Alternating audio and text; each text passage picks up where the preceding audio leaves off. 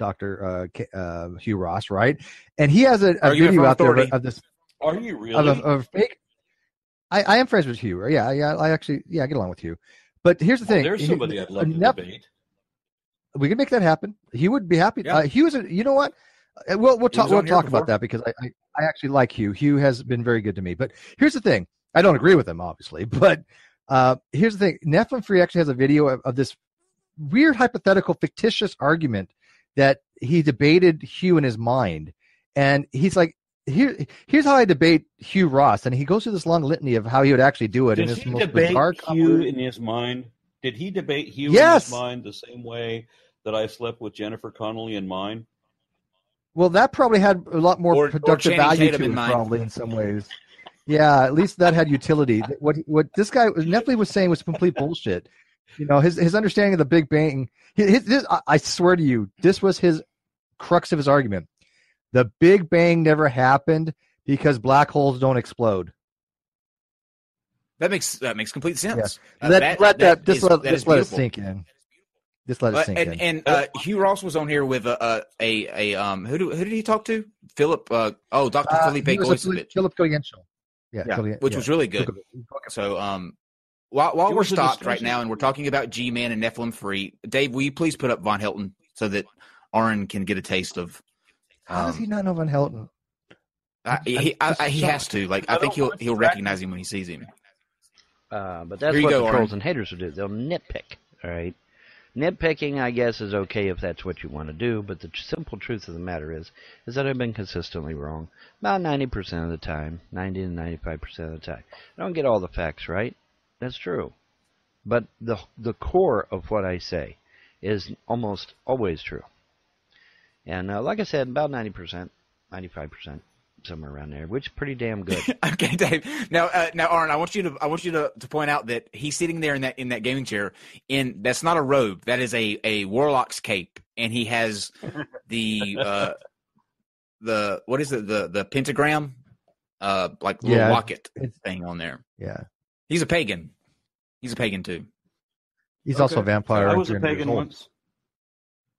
But but he's a pagan that's only wrong about ninety to ninety five percent of the time. So Does Oh, hey, he puppy. have- Alright. he, he, Hey, he has a rational wiki that's t- that's just unreal. It's hilarious. Well, again, it's he invented the rational stealth bomber. wiki. So, Yeah, he invented the stealth bomber. Hey Puppy. Okay, All right, let's get through let's this real quick. through these, Steve. We're gonna burn through these. All right, let's do it. Jake Kershaw, two dollars. Steve, keep him going. This is funny as fuck. I agree with you. This was hilarious. Mr. Cook Jr., two dollars. Especially you, Kyle Hart. Uh, Dave Dallafor, another two dollars. Parsimony, alimony, burp. Uh, Sandring, twenty dollars. Thank you again, Sandring. I believe this guy is intoxicated or something. He's very incoherent. We're going to agree with you on that one. No contest on that one. Uh, AC Castillo, two dollars. We're at thirty minutes, and JK has not made an argument. We were at ninety minutes, and he didn't make an argument. Um, so yeah, it never happened. Uh, Mr. I Cook put Jr., that on two my dollars. Resume that I Not making an Uh, argument. No, no. that I debated some anonymous internet nobody who never said anything. You Yeah, I debated don't know a, if we're a give Budweiser, a, a forty ounce Budweiser. Yeah, I don't know if we're gonna give you this one, dude. I, I, I this might be just one of those gimme things. Um, Mr. Cook Jr.'s two dollars. Someone call inspiring philosophy, please. I think we're gonna ha- we might might have him back on here soon. Uh, Nicholas Brand two dollars. He stepped to God, quote unquote, Aron or parentheses, and his mind is scrambled. Yeah, I think what happened. He may have intimidated to the point, Aron, that he was just so Yeah. in awe that he couldn't formulate a coherent thought, I, or he was shit faced. So That happened a lot They're- in the Bible too. Didn't they say that like, like the people could not be they couldn't um see Struck the, dumb with the awe or face of. God or something? They trembled in his presence. So I mean, Maybe there's except something for to the it. seventy Dave people, except for the seventy people that the Bible says actually did see God face to face. you, I, you, you wait can't a just minute. Are you saying the there's, Bible. there's a Stop contradiction it. the Bible? There's no way. Get Yeah. out of here. Stop that crazy talk. Dave Dallafor, two dollars. This is a DUI PSA. A Sandring, another twenty dollars. Amen. Thank you. And he's rude. he's like, hey, and he's Yeah, rude. Hey. Dahlia Yeah, uh, gave me a lot of useful information on uh, on, on on my current uh, quarry, as it were. Mhm. And I'm gonna, yeah, he he, he gave me Dave a lot of video footage. That, yeah, that I'm going to be. He gave Yeah, me a lot Dave Dall- Dave Dallaford does his research. Yeah, Dave Dallaford does Yeah, it, does his due diligence. He's Yeah. given me a number of, uh, of of resources in video that, of things that I would have never seen Hovind say if Delafor hadn't That's shown. Dave. And my favorite bit, my favorite bit is Hovind admitting that he runs this ministry so that he doesn't have to have a real job. I think I've heard him say that. Yeah. Yeah, but I, you know that's not even surprising to me. I think that's a that's a, a lot of motivation for why people in that you know that field do what they do. I think that's a, um.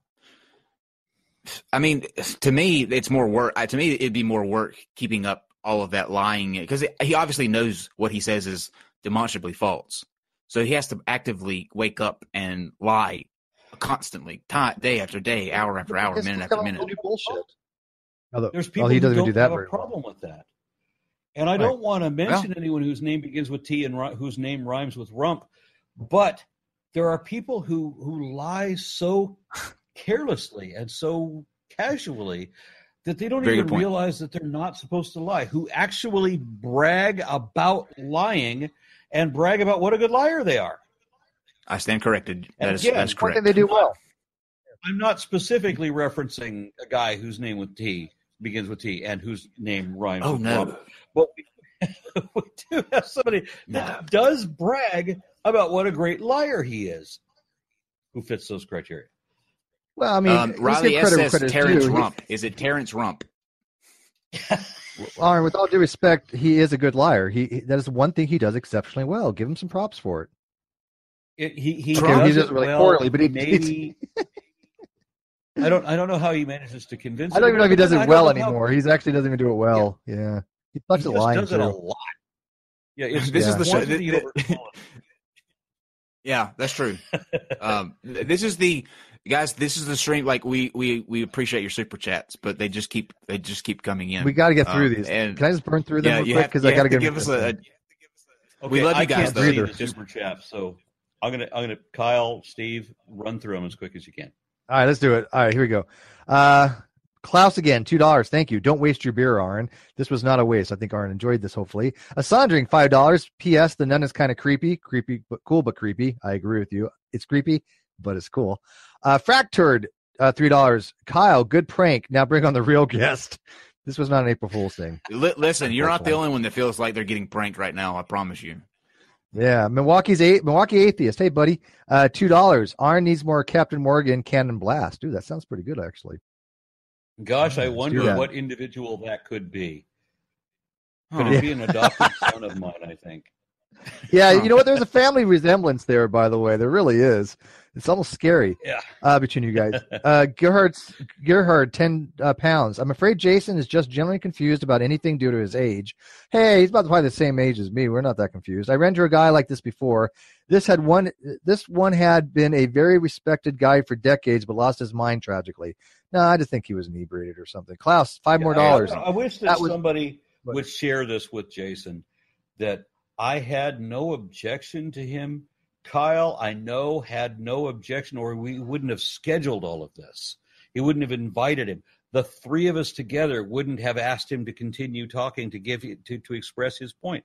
The man came here not just unprepared; he came here impaired, Mhm. Right. and that's the only problem. And we gave Yeah, we don't uh, want a we little gave bit him of every impairment, opportunity to uh to fix that. You know, or or to at That least was- that was- you know It was too he, late. could have said he could what he, did he do? yeah that's true but he, Stuff he could have he could have said if when I asked him when I asked him have you had anything to drink he could have said back yeah. I, I had a little bit bef- beforehand and Well, I would have said okay let's reschedule maybe he was being honest. He hasn't had anything to drink. He ate a bucket of of of, of muffins. what kind of oh, oh, is muffin a, a euphemism for something because the muffins like that uh that Colorado muffins. Oh, oh, yeah, yeah. Well, even even you know even then, like I would be understanding in that sense, and because like I said, it's happened to me with the comedy. I would have just said, okay, you you got a little nervous. Let's let's talk about rescheduling it, but we're going to stop right here. But he continued to try to press Faith on. No More. There was a band Yeah, called Faith No. More, and after they did the uh, the Epic album, That was when I was introduced to them. I thought, oh, this is I love this band. These guys are great. And then they did their like their first live performance in a huge uh, huge venue that was nationally televised, and the lead singer, who I loved, was totally fucked up. The guy could not perform at all. He just walked out over the stage and fell down, and it was a Mm. disaster. And you know That that's happened. some people That happened do with a um a, a recently with a, a comedy or a, a country band. Oh oh, uh, Toby Keith. They say Toby Keith now you you can't go to many of his concerts because he he gets so drunk by the end of towards the end of his routines that he forgets the words of his own song. I, I've heard that about Yeah, the unless you're a best country star, you can't singers. Yeah, Loretta All right, wanna Lynn. run through these real Loretta? Lynn was that, that was said about her. I love Loretta- I love Loretta Lynn though, and Johnny Cash. I love Johnny Cash too. I love Loretta Lynn's sister. Who's that? You're not old enough. Crystal Gayle. Oh, was Brown- she? Yeah, I don't Brown Eyes Blues. I know Crystal. She I know Crystal hair. Gale. Crystal. She had the hair down to the floor. Yeah, she, I even remember even in Crystal Gayle. six inch heels, her hair was still to the Yeah. floor. But I didn't know. I didn't know that she was Loretta Loretta's sister, though. Yeah. Yeah, news Huh. to me. But uh, yeah, I knew who I didn't- Crystal Gayle was, of course. Yeah, she was name. infamous for having like the longest hair in, in of any singer. All right, let's burn through these. Klaus, um, five dollars. That was Kent Yeah, or UNT? talking about- Maybe- It'll go south immediately. Yeah, we'll be here like five more hours. I think it means was that Kent or cunt? Um, Milwaukee atheist again. That was zero Five six dollars. forty five twenty seventeen. I can't memorize that number. The sad, the sad part is you have that goddamn number memorized now. You'll probably never forget it if your life depended on it. That's I can't. I, I don't want to fill my head with that kind of not this nonsensical shit that I don't. I have too many numbers to memorize, anyways. You in already fact, have you too just much have of this. Number. Y- You're never going to forget that number now, Aron. You know that, right? It's stuck. It's permanently ingrained in your brain. Yeah, only for this month, and and then once I've destroyed uh, Hovind's ministry, then I can forget about it. Fair enough. Milwaukee atheist again, five dollars. I will bet all the money I have they're going to talk about the book of jo- Job at some point. Well, Oh, we just you're did, so wrong. you win. Give us we that just did. I money. just mentioned.